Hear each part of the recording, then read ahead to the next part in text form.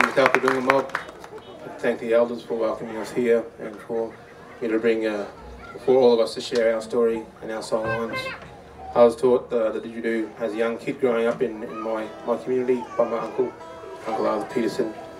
And so that style, song of the stories have always travelled with me around the world, as with uh, my fellow musicians on stage. It's important to, to keep our culture alive and our songlines uh, strong. So the song I sing at the beginning of this piece, uh, I wrote when I was 15 years old in my Kalkadunga language uh, about the passing of the culture from one generation to the next, called Kalkadunga Yulu, Kalkadunga Maraba.